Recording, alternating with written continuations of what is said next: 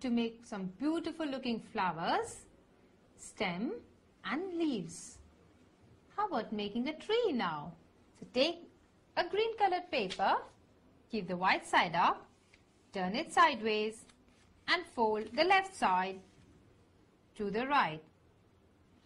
Making the paper into half, press the fold and fold it to have a center line that runs from top corner to bottom corner.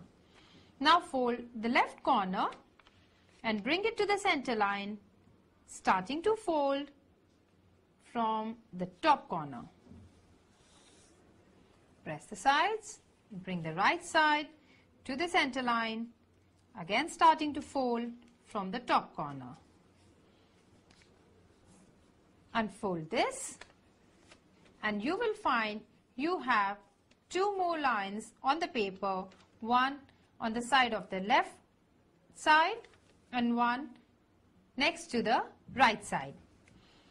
Now this left corner has to be folded along this left crease that you see.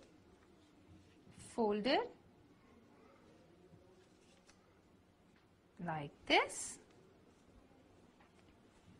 See, you have brought the left corner to this crease and this side has also come on the first crease that you see next to the left side. Similarly, the right corner also comes to this crease like this and the side also comes to the crease. Now once again fold the left side along this crease and bring it to the center line and fold the right side along this crease, bring it to the center line. Now flip it over and once again fold the left corner starting to fold from the top tip, bring it to the center line.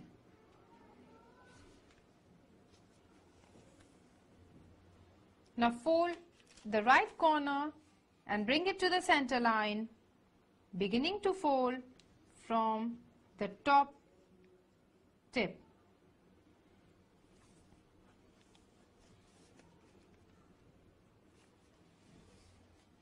After folding both the sides, you will see two small white triangles have come on the top side. Now just lift your paper a little and bring the left side and the right side like this. Just open up the paper and place it in this way. Now, this small little colored triangle that you see at the bottom has to be folded upwards like this and see that it is placed on the center line. See the fold is made just on the corners or the base of these white triangles.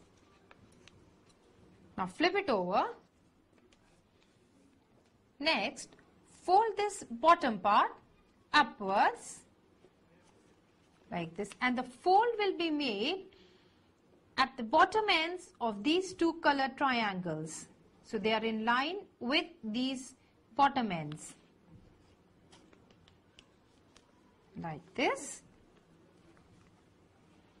Now this does not rest here. This will help us make the trunk of the tree. Now fold this back downwards and just leave a small portion at the top here and fold the rest downwards like this. Now you have to fold this left side to the center line. So fold it like this. This is towards the center line and similarly the right side also comes towards the center line and press all your folds. Now having folded both these sides towards center line, all you need to do is flip it over to find a beautiful looking tree. You can color this trunk brown if you want to make it look a little more natural. If you find it a little tricky, you can simply practice it all over again And once you have finished making it, you will definitely feel very proud of yourself.